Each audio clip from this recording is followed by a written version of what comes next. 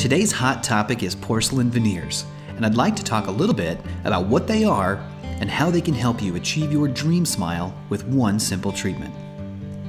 So, what are veneers? Veneers are thin shells of tooth colored porcelain that are bonded to the outer surface of the teeth to improve the appearance of your smile.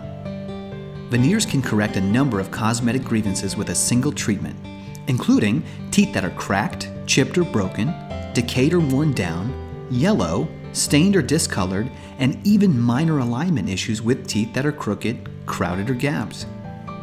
In order to place veneers, a small amount of preparation of the natural teeth is required to make space for them and to ensure the strongest bond. Depending on the office technology, veneers can be placed in a single appointment. But traditionally, veneers do require a temporary period, followed by a final visit for the placement. There are many benefits in deciding to improve your smile with veneers. The most obvious, of course, being a beautiful new smile and a sense of confidence. Another great benefit is their ability to correct a number of issues in one fell swoop. They're even more stain resistant than your natural teeth. Give us a call and schedule your consultation today to find out how veneers can improve your smile, your confidence, and your life.